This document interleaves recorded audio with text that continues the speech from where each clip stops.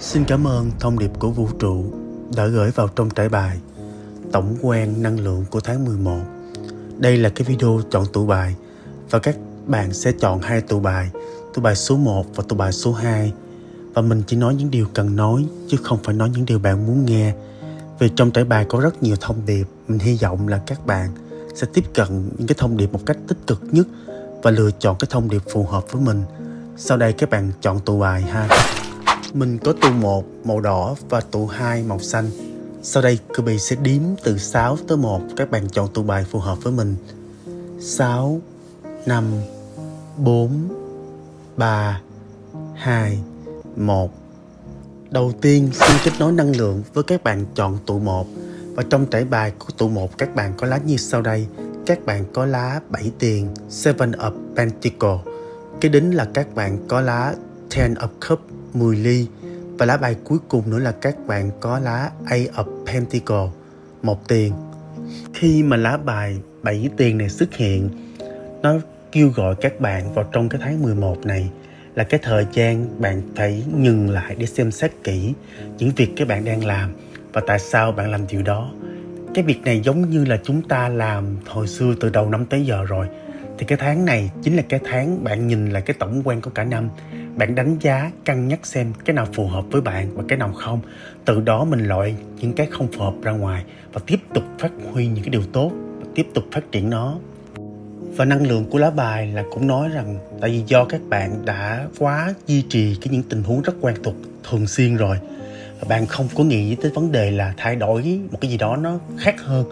Nhưng lá bài cũng khuyên bạn rằng cái việc thay đổi là một điều có thể bạn làm bởi vì cái thay đổi sẽ giúp cho bạn phát triển thì tại sao mình không thay đổi.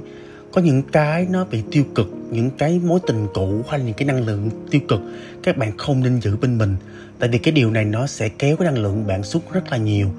Do đó các bạn phải suy xét lại trong cái tháng này là chính là cái tháng mình xem xét lại tất cả các bạn ha.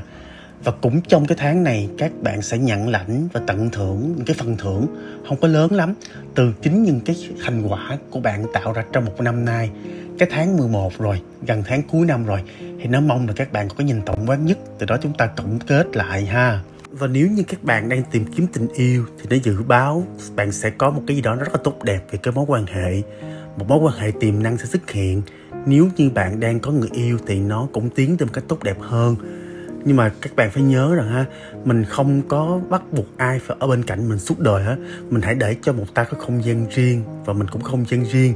Đừng có để cho cái những cảm giác nghi ngại hay sợ hãi làm ảnh hưởng đến mối quan hệ của cả hai bạn. Và về phần tài chính thì đây cũng là một lá bài rất tốt. Trong cái tháng là bạn sẽ có một cái vụ đầu tư rất là ok. Nhưng mà dạng đầu tư theo cái truyền thống, chứ đừng có làm cái gì giống như là đầu cơ là không có được bởi vì bạn nhớ rằng đây không phải là thời điểm mà bạn đầu tư. Tại vì cuối năm rồi, mình nên thận trọng hơn và chín chắn hơn trong cái suy nghĩ và đầu tư của chính các bạn. Nếu như bạn biết nuôi dưỡng một cái năng lượng là mình biết cho đi và mình phải đón nhận và biết ơn những gì bạn có được á, thì bạn sẽ giúp cho các bạn rất nhiều trong cái quá trình hướng tới cái tâm linh, hướng tới cái tinh thần mình phát triển hơn, giúp cho bạn sống một cái suy nghĩ tích cực. Cái thời điểm này cái tháng này sẽ tháng các bạn nhìn lại và bạn nghỉ ngơi, tạm nghỉ ngơi để bước vào cái bước tiến lớn hơn. Nếu như bạn có dự định làm cái gì đó vào năm sau. Thì đây là cái lá bài đại diện cho sự kế hoạch và sự kiên nhẫn. Do đó các bạn phải lập kế hoạch cho cuộc đời của mình. Và tình yêu nó cũng tốt, lắp lá bài tốt vào tháng sau nha các bạn. Là kế tiếp là các bạn có lá 10 ly. Cái lá này nó chứng tỏ là, và cái lời khuyên của lá bài 10 ly này xuất hiện là nó biết là các bạn thực sự là những người hạnh phúc, các bạn đang sống rất là viên mãn, nhưng mà các bạn sẽ không có nhìn thấy những chuyện đó. Bởi vì do cuộc sống hàng ngày nó thử thách quá nhiều rồi, bạn ngập chìm trong những khó khăn của riêng mình. Do đó các bạn không có nhận ra là xung quanh bạn tồn tại những cái quyền rất cơ bản của con người. Đó chính là cái niềm vui ở cạnh người thân chúng ta. Và cái điều này nó mong là các bạn sẽ chú tâm vào cái cảm xúc của mình đối với gia đình nhiều hơn. Một cái khung cảnh rất là đẹp, nếu như các bạn không biết tận hưởng nó. Một gia đình im ấm, có cha, có mẹ, có anh chị em. Và cái chúng ta có một cái gì đó nó rất là đàng hoàng và có một cái tầm cảm xúc rất là lớn trong cái lá bài này. Thật sự cả hai lá bài này nó đều mong muốn là các bạn phải dừng lại, suy xét là mọi chuyện. Kiểu như là mình nghỉ ngơi, nghỉ giải lao vậy các bạn để mình có một cái sự bình an trong nội tâm cảm giác bình an từ bên ngoài lẫn bên trong luôn. Từ đó nó giúp các bạn phát triển rất là nhiều trong cuộc sống này. Các bạn à, nhớ nha cái khả năng bạn nên chấm dứt tất cả những cái thù địch xung quanh nếu như có thể. Bởi vì cái xung đột đấu tranh nó nó sẽ gây ra cho các bạn rất là khó chịu. Đây cái thời điểm mình nên chấm dứt cái chuyện đó. Và nếu như mà bạn đang xung đột với chính mình đó, thì hãy tin là bạn phải tìm chính cái bản thân mình cái sự bình an chứ không có thể tự mình khiêu dệt làm nên tất cả những thứ để cho mình làm mệt mình. Tại sao mình làm mệt mình? Trong khi người khác không có làm mệt mình. Mình đừng có suy diễn nha các bạn. Lá bài cũng khuyên là các bạn đừng cái đấu tranh với chính mình. Và có một cái số bạn á, các bạn cứ đi tìm hạnh phúc ở đâu đâu á. Bạn cứ tìm hạnh phúc ở người yêu bạn bè. Mà các bạn không hề thấy cái chìa khóa của hạnh phúc nằm chính ngay trong gia đình của các bạn các bạn nhìn thấy lá bài một lá bài một cái cảnh tượng rất là đẹp. Mà cái điều này cơ bị rất yêu quý vì muốn mà không được của các bạn. Tại vì mình qua mỹ sinh sống mình đâu có cảnh gia đình đâu. Mình sống có mình ơn à. Các bạn có các bạn phải nên quý nha các bạn. Ổn lắm bởi vì á, cho dù đi chăng nữa gia đình mình vẫn là cái nhóm người mà bạn sẽ gắn bó nhất về mặt tinh thần cũng như là tình cảm. Và gia đình bạn nếu gặp những cái gì rắc rối hay bạn cố gắng giúp họ hồi phục lại để cả cả gia đình mình có một cái sự hòa hợp nhất định, một cái thời điểm rất là hợp lý để cho mọi người gắn kết với nhau hơn.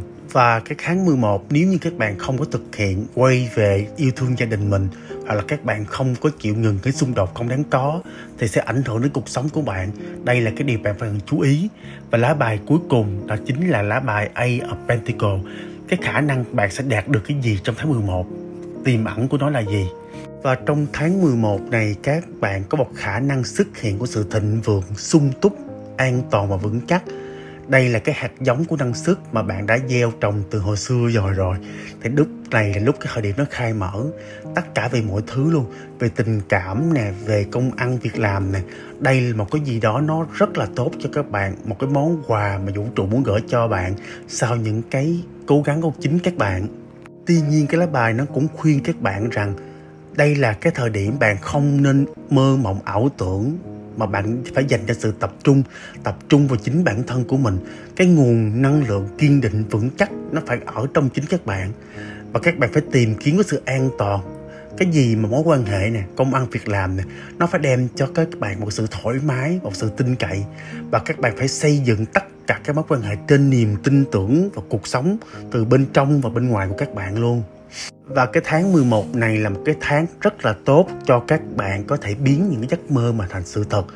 Do đó các bạn hãy nghiên cứu tính khả thi cũng như cố gắng hết sức cái, tại vì vũ trụ nó cho mình cái năng lượng để mình hoàn thành cái những cái gì mình mong muốn về tình cảm luôn nha các bạn do đó các bạn hãy tận dụng sức mạnh của vật chất để bạn đột phá về ý tưởng.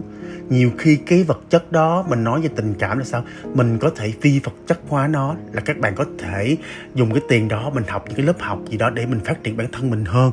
Đây là một cái điều bạn cần phải xem xét tới. Về tình yêu á, nếu các bạn còn độc thân thì chắc chắn cái tháng 11 này nó sẽ khởi đầu về tình yêu cho các bạn. Các bạn sẽ sớm gặp được một người mới, có khả năng là sẽ thông qua công việc hoặc là kinh doanh và cái mối quan hệ người này sẽ mang đến cho các bạn một cảm giác an toàn và ổn định. Bởi vì họ sẽ là nền tảng tích cực, ảnh hưởng trực tiếp đến cuộc sống của bạn. Wow, một lá bài rất là may mắn.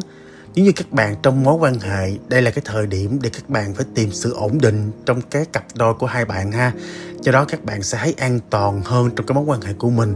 Và cảm giác an toàn này khi cả hai bạn phải biết độc lập với nhau, không có dựa và dẫm vào nhau, phải biết đem giá trị.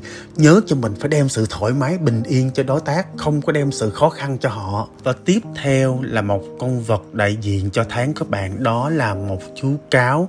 Và thông điệp của chú cáo là gì? Là các bạn phải nhìn đi những cái bước chân của mình, là nhìn từng bước các bạn bước đi, là các bạn phải suy nghĩ cẩn thận suy xét tất cả mọi thứ những gì bạn làm trong cái tháng tới nha các bạn.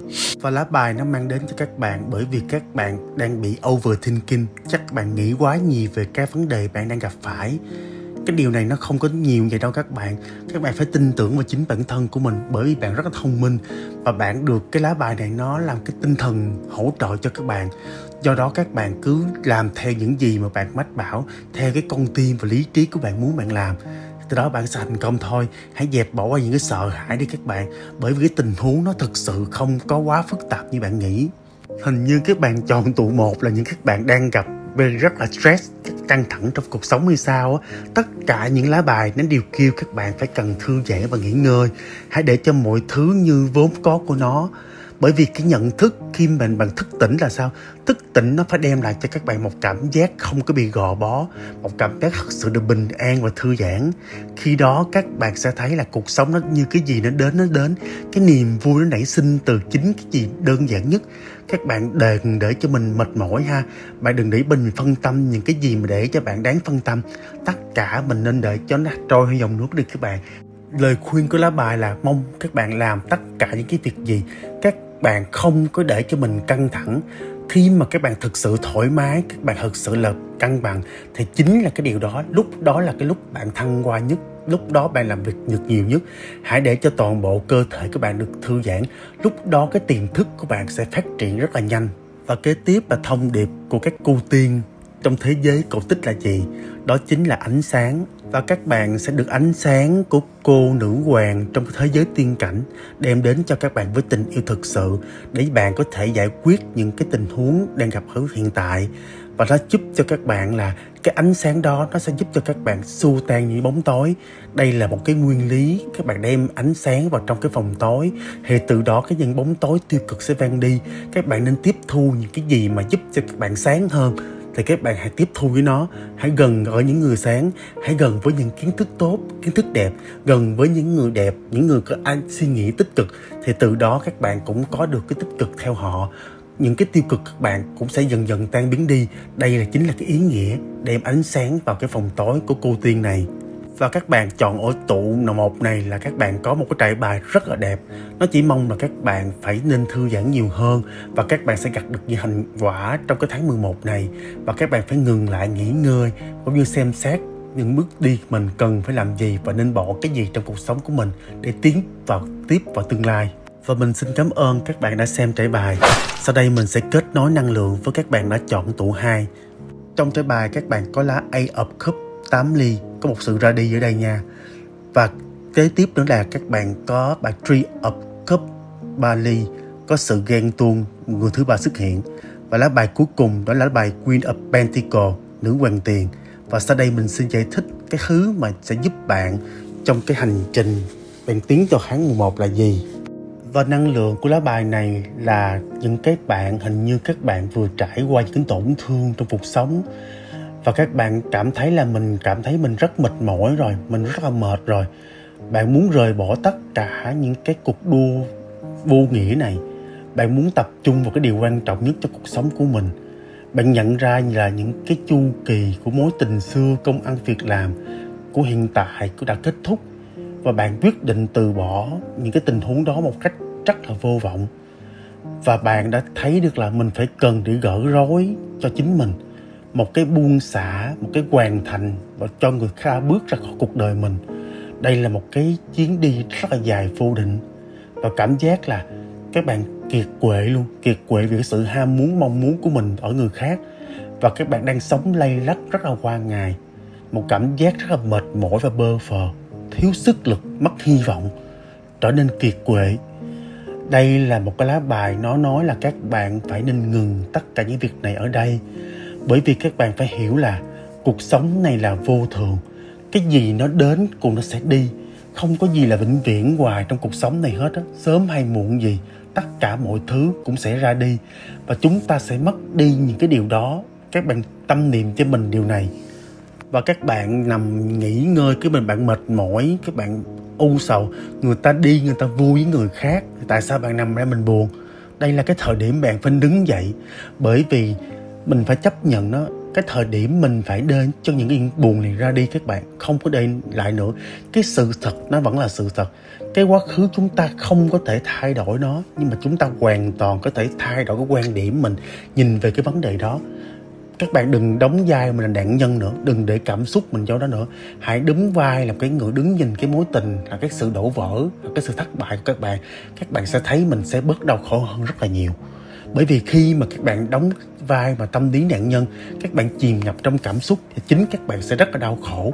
Nhưng khi bạn tách mình ra khỏi nhân vật, đứng quan sát cái cục tình đã tổ vỡ đó, các bạn thấy là mình làm sai cái gì, người đó làm sai cái gì, mình học cái bài học từ đó, từ cái bài học đó mình phát triển hơn. Mình không trách, không hờn, không quán cái người làm hại mình, người ra đi, hãy để cho họ đi. Họ làm những gì họ muốn là họ không hoàn toàn sai nha các bạn. Lý do là tất cả con người sống cái cuộc sống này, họ đều mong muốn làm cái điều họ muốn. Ngay cả bản thân cũng vậy. Nếu như mà các bạn cứ níu kéo căng cản người ta không làm người ta muốn thì các bạn đã rất là sai rồi. Thì mình đừng có nên giữ với người này nữa. Và các bạn hãy nhớ là chúng ta biết là những cái cảm xúc cũ đó nó khiến mình rất là đau khổ. Nhưng mà các bạn phải nên bỏ nó qua một bên để mình tiến bước vào con đường mới. Cái việc dấn thân vào này đem một cái ý nghĩa rất là sâu sắc cho bạn tìm kiếm một cái tia hy vọng cuối cùng để bạn thấy được là chúng ta đã ngủ quên quá lâu trong cuộc sống này rồi. Cái thời điểm này, những cái ảo vọng vốn có không còn đem lại sự hài lòng và thỏa mãn cho các bạn nữa. Hãy dẹp bỏ cái cảm giác kiệt quệ, mệt mỏi, tâm lý nạn nhân tổn thương. Mình tổn thương đâu có ai biết đâu các bạn. Tự các bạn biết à cái người ta vẫn vui, người ta vẫn hạnh phúc. Mắc mớ mình tổn thương để làm gì? Lá bài này về cái tình yêu, nó nói là cái mối quan hệ đã thực sự là kết thúc. Chắc chắn là kết thúc luôn. Đừng có chờ đợi cái điều gì xảy ra. Không có phép màu đây đâu các bạn. Nó không có thay đổi gì hết đó đã kết thúc thực sự rồi. Và vào cái tháng 11 này là cái tháng bạn phải bỏ cái muộn phiền mình ra. Nếu các bạn không biết sống với chính mình, dành cho mình cái không gian để đánh giá tất cả những mọi việc xảy ra thì các bạn đừng có bao giờ mà trở lại cuộc sống này nữa. Nó rất là khó. Nếu như các bạn, mình mệt mỏi cuộc sống này thì làm sao cuộc sống cho mình cái điều an vui được các bạn? Các bạn hãy nên làm mới mình đi. Đây là cái thời điểm phải nên làm mới mình. Hãy đánh thức cái nội tâm mình. Những căng thẳng, xung đột đó hãy bỏ qua đi. Cái thời gian này, mình nên tìm, thấu hiểu nội tâm mình. Tìm được cái sự khôn ngoan trong sự tĩnh lặng. Lắng nghe tiếng nói im dịu từ bên trong khảm của chính bạn và mình sẽ để cái link của lớp học thấu hiểu nội tâm bên dưới dành cho các bạn toàn tụ hai, để các bạn có một cái nhìn cuộc sống tốt hơn. Tất cả những gì mà cứ bị biết, cứ bị thay đổi bản thân mình đều từ cái lớp học này hết. Lớp học hoàn toàn miễn phí, các bạn có thể lấy cái file về nghe. Các bạn nghe cho mình đi, nó rất là tốt cho các bạn. Còn nếu như mà các bạn muốn học một cái lớp online thì các bạn hãy vào tổ chức quyết trên đó thì các bạn tham gia vào trong Zoom á, thì người ta nói phí tùy tâm mà các bạn không đóng tiền cũng được, đúng sao? 50 ngàn 5 ngàn đồng người ta cũng nhận nữa. Phí tùy tâm mà. Và lá bài thứ hai sẽ là lá bài nó nói về những cái thứ mà sẽ cản trở bạn trong tháng 11 bởi vì cái lá một nó cản trở quá nhiều, lá hai này cản trở được. Mình cảm thấy cái năng lượng của tụ bài này hơi bị ờ, trì trật nha các bạn nhưng mà các bạn hãy nhớ rằng tất cả mọi việc trên đời này đều có hướng giải quyết hết. Nếu như các bạn chiến thắng được bản thân con người mình, hiểu mình nội muốn gì cần gì, đừng bao giờ làm tâm lý nạn nhân cho bất cứ ai trong cuộc sống này hết á. Không có, mình phải làm chủ cho chính mình. Và cái vấn đề cản trở cho các bạn đó chính là cái việc bạn đã đi xa quá cộng đồng rồi. Nó muốn bạn phải trở về với cộng đồng. Đây không phải cái thời gian là các bạn sống một mình nữa nó nói bạn nên phải kỳ vọng một cuộc hội ngộ với một cái nhóm bạn hoặc với một ai đó mà bạn đã xa cách rất là lâu. Và cái cảm giác là các bạn sẽ nhận sự hỗ trợ từ bạn bè và gia đình. Hãy đảm bảo rằng bạn luôn luôn giữ liên lạc với mọi người. Đừng cắt đứt cái mọi liên hệ nha các bạn. Bởi vì cái sự đố kỵ ganh tị là những vấn đề bạn gặp trong cuộc sống với những cái mối quan hệ xung quanh bạn nhưng mà các bạn ơi, mình phải tìm kiếm một cái gì đó, mình đối mặt với nó. Khi mình biết đối mặt, mình gỡ bỏ, mình gỡ bỏ được cái sự ân hận, cái sự mà đau khổ chính mình, thì từ cái năng lượng mình nó sẽ truyền cho người khác, người ta sẽ cảm thấy vui hơn. Không ai muốn ở bên cạnh một người buồn, sầu hãm đó các bạn. Và nếu trong cái mối quan hệ tình cảm á, khi mà nó khuyên các bạn rằng á, có thể là các bạn bị gặp áp lực về tài chính đang ảnh hưởng lên mối quan hệ của các bạn, mình biết áp lực về tài chính thì mình phải làm sao để mình tăng cái thu nhập của mình. Cái gì mình biết thì mình sửa thôi, các bạn không có gì hết. Cái gì cũng giải quyết được hết. Và nếu như các bạn đang độc thân thì các bạn sẽ có thể tìm được cái người yêu thông qua cái mối quan hệ bạn bè. Nên đảm bảo là bản thân các bạn là thực sự là hòa nhập vào cuộc sống và chú ý đi tìm người yêu thực sự. Và nhớ nha, nếu mà còn sợ cô đơn mà kiếm người yêu thì đừng kiếm luôn. Tại vì mình làm gì mình sẽ khổ cái người kế tiếp hãy khi nào mình chữa lành chính bản thân mình đi, học lớp thấu hiểu nội tâm đi hay các bạn hãy yêu. Và lá bài này nó cũng nói về một cái khía cạnh, nếu như các bạn mang một cái năng lượng ganh tị, ghen ăn tức ở về cái tài chính, về tình cảm của người khác là các bạn hoàn toàn sai. Tại vì chúng ta không có nên nhìn vào cuộc sống của người khác, mình phát triển chính mình thôi các bạn. Chứ bạn sao sao bạn nhìn người ta người ta cũng làm ta làm mắc mới gì tới mình người ta giàu, người ta đẹp là do người ta có phước đức. Người ta biết làm ăn, người ta biết chăm sóc, người ta giàu, người ta đẹp. Hoặc là người ta tình cảm tốt đẹp, tình yêu. Tại vì người ta biết chăm lo cái tình cảm người ta. Người ta sống rất là đẹp người ta được người yêu người ta thương. Mình không được là tại vì do mình không có, mình không có kỹ năng đó. Cái vấn đề là các bạn chưa biết phát triển bản thân của mình.